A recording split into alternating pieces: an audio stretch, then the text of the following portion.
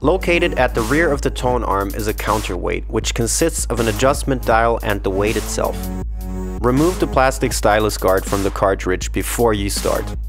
Next, turn the weight in the appropriate direction until tone arm and cartridge float above the platter. The cartridge should not have any contact with the platter and it should also not point upwards. Once you reach perfect balance, lock the tone arm in its rest and move the adjustment dial to zero without changing the weight itself. Turn the entire weight until the dial points to your desired value.